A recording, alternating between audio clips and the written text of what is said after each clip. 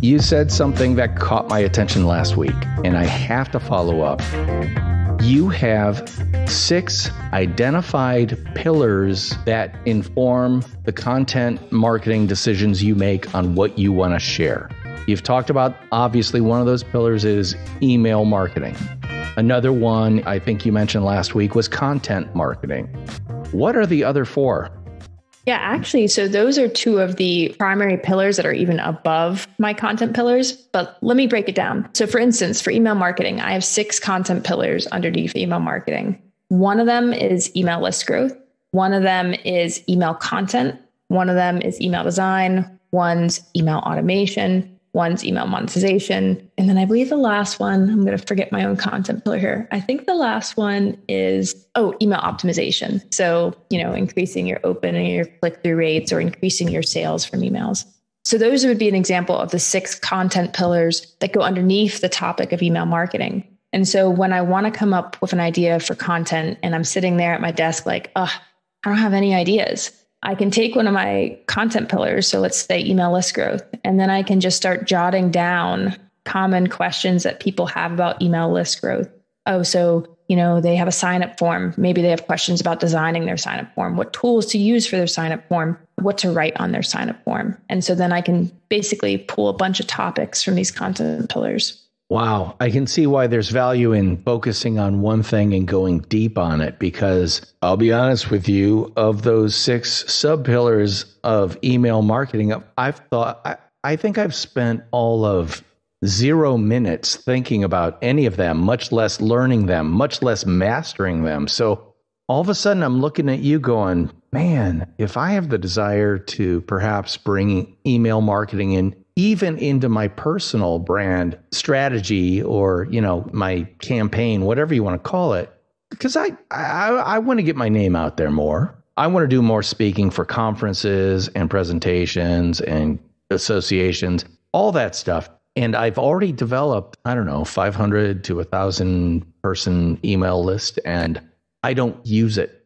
I am terrible. I am the shoemaker who is barefoot do you work with people like me that would be like, oh, Liz, I just need some help here? Yeah. And there are quite a few companies I work with who they come to me and they know I'm an email expert and they'll say to me, yeah, we're not so sure if email marketing even works, but we've been told by a lot of people that it does. Can you can you help us? Can you give us some thoughts on that? And so I've worked with brands who that's exactly where they're at, and they have an email list that's kind of just been sitting there. And, you know, bad things do happen over time when you don't send emails to your email list, but you can bring it back to life. And so I definitely work with a lot of companies who are in that exact circumstance and need help and guidance to move ahead.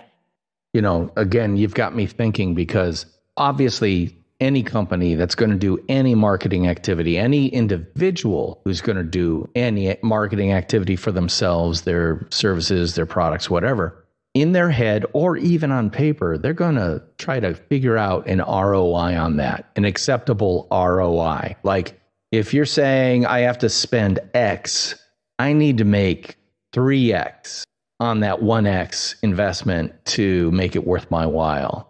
Do you have any examples that you can cite? Not necessarily of your best, although I would like to hear your best, biggest, highest wow number, but kind of like you could expect to see a this level of return on investment if you do it right, the Liz Willits way. Yeah. So on average, companies see for every $1 they spend an email, they get $42 in return. And the really brilliant companies. Okay. So I'm going to say that's 42X. Yeah. Yeah. Are you kidding me? No. Uh, email is, is crazy effective. Wow. And that's an average or that's a garden variety number, not your massive successful campaign number? That's the average. It's actually 44 to correct myself. Some oh, people Oh, I'm glad I'm glad you upped it another 2% because 42 wasn't high enough. Oh my gosh, are you kidding me? Yeah, it's it's very effective and I think it's 20% of companies or 1 in 5 companies will find actually a 72 77,200% ROI or $72 for every $1 they spend. Oh my gosh. That's incredible. So, based on you and your services and what you provide, is there a kind of perfect company or service product, whatever, that could really benefit from your services? I work a lot with with SaaS companies, which there's a huge benefit for them. E-commerce is another one that can really kill it with email marketing. Um, but so can a lot of smaller brands and and and companies too. I haven't seen an industry. Let me say this: I haven't seen an industry yet where email marketing just didn't work. Where you know we tried everything we could and it just didn't work. So I haven't seen that yet. Although you know maybe I'll confront that at some point or face that. It tends to work really well too when you have when you've spent time growing your email list and engaging them. If you have a really disengaged email list and all of a sudden you try to monetize it, that's going to be difficult. So let's say I'm a company that's kind of sucked in by the trends that all my marketing has to go to Facebook or Google, digital spend only. What's your argument to someone like that? I mean, is it a you should at least pilot a program take 20% of your budget and try email. Is that a good argument to make to someone like that? Yeah, uh, I would definitely tell them, yeah, take uh, even 10% of your ad budget or 5% of your ad budget for the month. And you probably need to spend a few months to be realistic uh, building sure. up your email strategy. But take that budget and then see how it does and compare it to your, your ad revenue. Ad, ads are ads are effective with a good strategy and they work and they should be a part of a large company's strategy for sure, but email tends to have a higher ROI. Yeah. So I'm running this through the personal branding lens because the nonfiction brand is, you know, this podcast revolves around the idea that everybody should create a personal brand that you can easily communicate who you are, what you do, and how you do it by thinking it through and then focusing on it. So the fact, and again, Liz is a great example. You have seriously said, I am not about shiny object advertising and marketing. I am about one of the most tried, tested, and true areas of modern digital oriented marketing, which is email. I mean, you're not printing ads that go in newspapers or magazines or radio or anything like that. But you, and I'm talking about Liz, you have staked your flag on a mountaintop, and that mountain is called Email Mountain. And it sounds like you have absolutely zero fear of that mountain crumbling to dust over time. Am I yeah. right about that? yeah, you're right. A lot of marketers will say email marketing is dead. And but they say it year after year after year. Email marketing is dead. Here's this new new tool or this new channel that you need to do instead. But email marketing's been around since the 1980s and still works. So I'm not afraid to niche down and have that be the niche of my personal brand. And I think the best strategy and the one that's worked for me is to niche down and then slowly to expand that niche as you grow. And so I've started diving into more content strategy and copywriting topics when it comes to my personal brand. But the beauty of focusing in on email marketing is that anytime when someone thinks email marketing, they think of you if they know who you are. Whereas if you're this generalist, when someone's asking, hey, like I need help with my email marketing, they might not think of you. They might think of someone who is the definitive person who is the email marketing expert. So that's been the advantage of niching down for me. Does that answer your question? I think it was a bit roundabout. No, no yeah, it, you're hitting on all the main things, which is the reason you got asked to present at conferences like Content Marketing World are because you're a specialist, an expert in a narrow topic rather than one of a garden variety bunch of generalists who are like, oh, yeah, you can get some email marketing from me, but I can also do Google ads and I can do this and that. No, you're saying, no, this is what I do, which is why you were on stage rather than in the audience. And I think that's incredibly important for anyone like me and some of the listeners of the Nonfiction Brand podcast who want to build their authority in any sector I always use this example because I love to go to the extremes, but there's always been one person who is the internationally recognized expert on anodizing aluminum. You know, the idea of giving a coating, a durable coating to aluminum. That's a very, very small universe. And yet, there is a king or queen of that universe who has gotten to that level within that universe because they specialize in nothing but that. Consequently, if there is and there are industry conferences on metal coatings and stuff like that, guess who they're going to bring? And they're going to fly out and they're going to pay whatever they care to ask for to get them to speak because no one has demonstrated the expertise that they have over their entire career and over all the social channels if they're using social media at all. Riches in the niches. And it sounds like uh, you are a big proponent of that concept. Yeah, definitely, definitely. It's hard. It's just really hard to be an expert in everything to the point where people want to hear what you have to say on it because you just when you're when you're focusing on everything, it's hard to be an expert for sure. Yeah, jack of all trades, master of none, never gets on stage. That's for sure. This episode of the Nonfiction Brand podcast is brought to you by my new book, Nonfiction Brand. Discover, craft, and communicate the completely true, completely you brand you already are, now available on Amazon.com. Too many people for too many years have labored in obscurity. Why? Because that's the way it's always been. Work for someone else and remain nameless, letting others take credit for your hard work. But in today's hyper connected, everything is media world, that's all changed. In 1997, Tom Peters outlined the tenets of a new concept personal branding. Fact is, if you're not actively branding yourself based on who you are, what you do, and how you do it, you are leaving opportunity on the table. But with this book and a little bit of work, that opportunity is 100% yours to own starting today.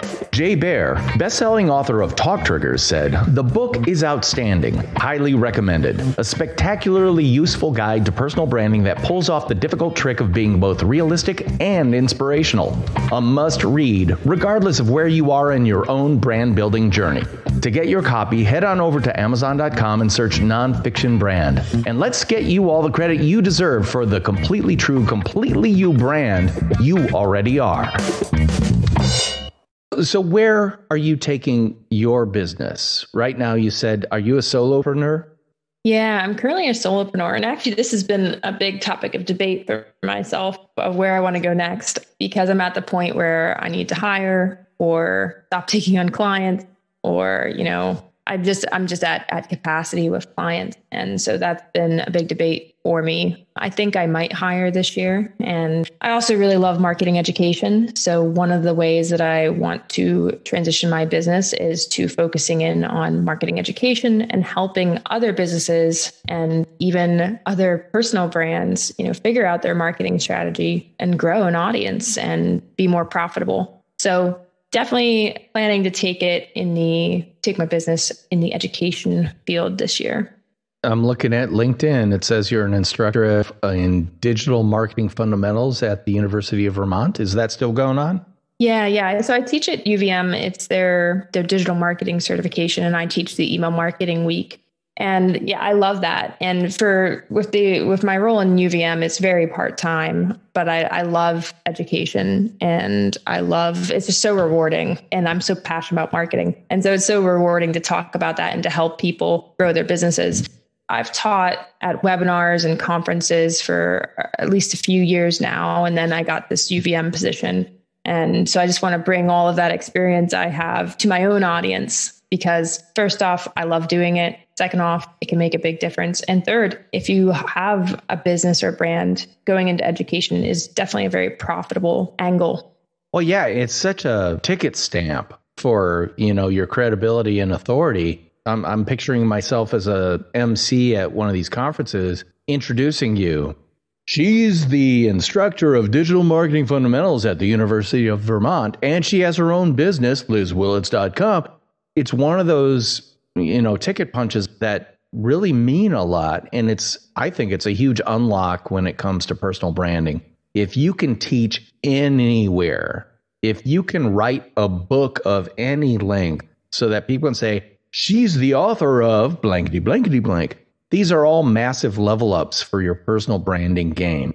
It's not a mistake that i've gone out to write two books now whether anyone reads them i can't i can't make that happen but I will say I can tout the fact that he's the writer of two books and blah, blah, blah, blah, blah, blah, blah. And even podcasting, you know, one of the reasons I'm doing this podcast, to be honest with you, I'm pulling back the curtain. Credibility building. I'm talking to Liz Willits today.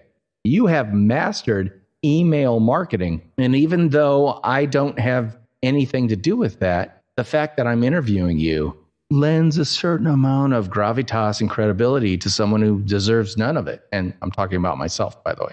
But that's exactly what you have to do when you're seeking to build a personal brand. And I want to go back again to what we talked about last week, especially let's let's put ourselves, let's role play for a little bit. Let's say there's someone out there who does a fair amount of public speaking, you know, presentations to groups and associations, conventions, that type of thing. They want to do more of that. I have gone to, I don't know, hundreds of speakers and I, I go to watch them speak. It's, it's more about how they do it than what they're talking about for me.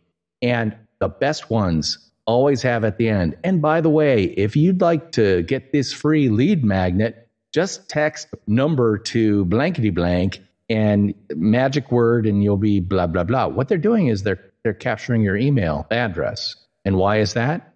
Let's go back to what we talked about last week. Kevin Kelly, a thousand true fans. If they can convert you onto the email list first and then eventually earn that thousand true fandom from you, that's what you're talking about, right?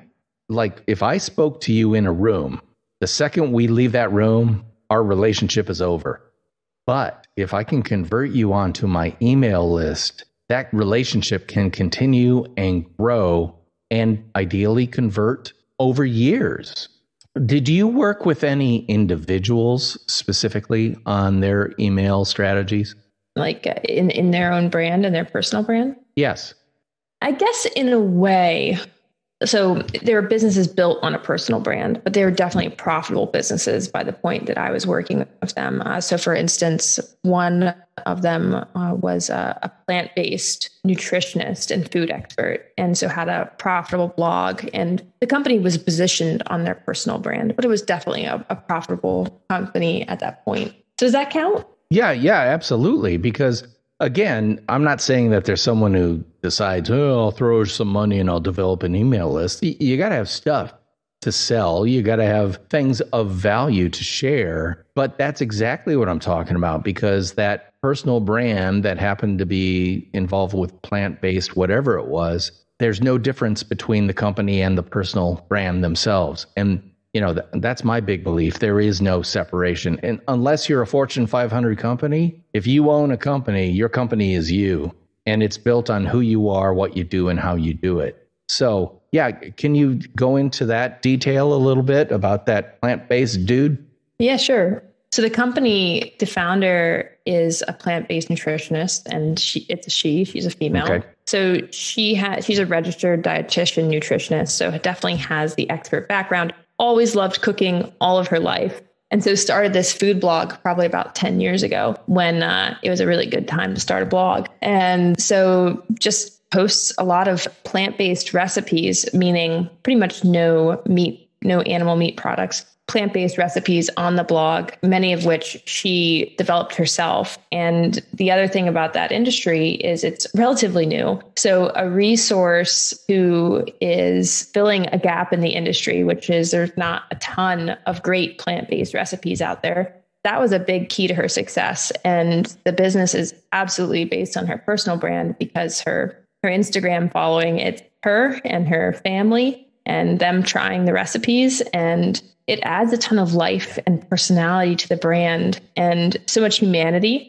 And so people know her. And when she, her, her company has a name, brand name, it's not her name, but people know who she is because she has such a great personal brand as a part of this business. Yeah. And that's the force multiplier of whatever the name of the product is, is again, let's do a little algebra here. Say it's X. Her association with it is X times 100 because the power of that personal brand, the personability of it, the fact that you met via Instagram or other social channels, her family, you know, you see, like, I can, I, I haven't even seen it, and I can guess that there are photos of little kids enjoying vegetables. And moms are looking at this going, How does she do that? I need to know, which just creates and cements this relationship. And by the way, as you mentioned, she gives recipes, right? That's her lead magnet. Come back here. I got a new recipe this week. after about five weeks of that, you're going to feel a little bit of beholden to her, you know, not necessarily guilt quite yet, but it's like, wow, you know, she's given me so much and I haven't given her anything back. And then all of a sudden you find out she's got a recipe book coming out. Oh, I'll pre order that. And oh, I'm going to get one for my sister in law. Oh, and I have a friend who's kind of looking into becoming a vegan. Boom, I'm getting a copy for her too. And that's the power of personal branding, especially when it's connected to a product brand. Because if there was just a, and, and there are plenty of them out there, uh, plant based foods, wah, wah, wah, don't really care. You know, a, a product called Beyond Meat. Do I really care about Beyond Meat? Not at all. I, I want, maybe I'm a little curious about it, but if there was an individual associated with that, not in an influencer way, not in a we paid them to be, but in the story of the brand, this person developed it for these reasons, and here were the outcomes. All those stories can be told. And that's what creates a strong, three dimensional, fully founded personal brand slash branded business. All right, I've blathered on and on enough. I do want people to know how they can get in touch with Liz Willits, who is my guest today. And let me start by spelling her name L I Z, not a surprise, Willits, W I L L I T S. And you can find her at lizwillits.com, but you can also find her where on social media? On LinkedIn, under Liz Willits as well. That's your number one social channel, right? That is my number one. But if you're more of a Twitter person, I am also often on Twitter. And again, it's under Liz Willits. Well, very cool. And I suggest you check out lizwillits.com because there is a lead magnet there that I think is probably worth your time and effort to check out. It's a free guide, right? If you go on our main page and page down about halfway, you'll see something that says, Say goodbye to open rates under 25%. Get Liz's free guide, How to Get Benchmark Busting Email Open Rates. You'll learn proven, simple strategies to write better subject lines and improve your chances of reaching the inbox. And then you just press that button, grab your free guide, and guess what? You're creating an email relationship with her because you're joining her email list. Oh my God, this is like a masterclass in ninja jujitsu here. I come to you for information about emails, and you get my email Wow, that's some pretty crazy stuff there, Yoda. Thank you. Anyway, that's it for this week's episode of the Nonfiction Brand Podcast. With me again, Liz Willits. Thank you so much for that. And by the way, nonfiction branders, I would love it if you would like, subscribe, refer, and review this podcast, especially the review part, because that helps people find it. I'm DP Knudten for the Nonfiction Brand Podcast, and she is Liz Willits. And I'll be talking at you again next week. Bye bye. it's always hard at the end of the day, but anyway, I really appreciate uh, you taking the time to do this. And uh, just in terms of a little housekeeping, I'm